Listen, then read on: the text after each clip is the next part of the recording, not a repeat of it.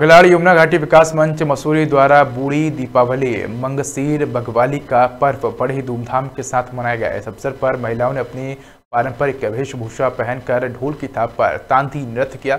इस मौके पर सबसे पहले लकड़ी को इकट्ठा कर ढेम सिया बनाया जाता है, जिसे पूछकर चूड़ा का प्रसाद लोगों को दिया जाता है। जिसके बाद महिलाएँ व पुरुष भेलू जलाकर नृत्य करते हैं।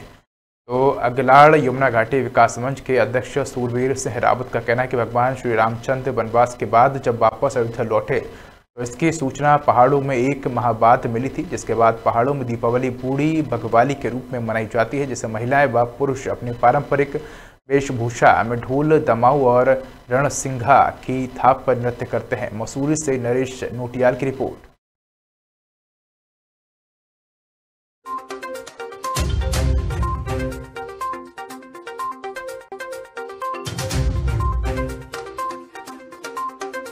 ये जो मंगसीर बगवाल है, ये पूरे यमुना और अगराड़ घाटी में राष्ट्रीय दिवाली से ठीक एक महीने के बाद मनाई जाती है। और इसको मनाने के पीछे ये मान्यता है कि वीर भड़ माधो सिंह भंडारी जब तिब्बत विजय करके वापस आए थे तो इस अगलाड़ और यमुना घाटी को लगभग एक महीने के बाद इस बात की खबर लगी थी तो उनके आने पर जो है, ये बगवाली मनाना मंग, जिसको मंगसीर बगवाल उस जब रामचंद्र भगवान जो है, अयोध्या लौटे थे, उसकी खुशी में दिवाली मनाई जाती है पूरे भारतवर्ष में। उसका संदेश जो है, हमारे पहाड़ी क्षेत्र में एक महीने बाद पहुँचा।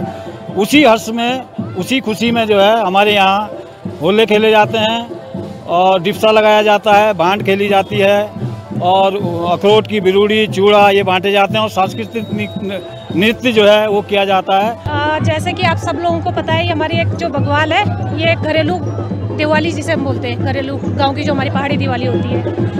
और ये हमारे ठीक एक महीने बाद मतलब जो पहाड़, जो देसी दिवाली होती है, उसके ठीक एक महीने बाद हम इसको मनाते हैं। मसूरी में मनाने का एक मकसद ये है कि यहाँ पे हम लोग गाँव से उठ के हम मतलब पलायन ही हो चुका है हमारे एक हिसाब से।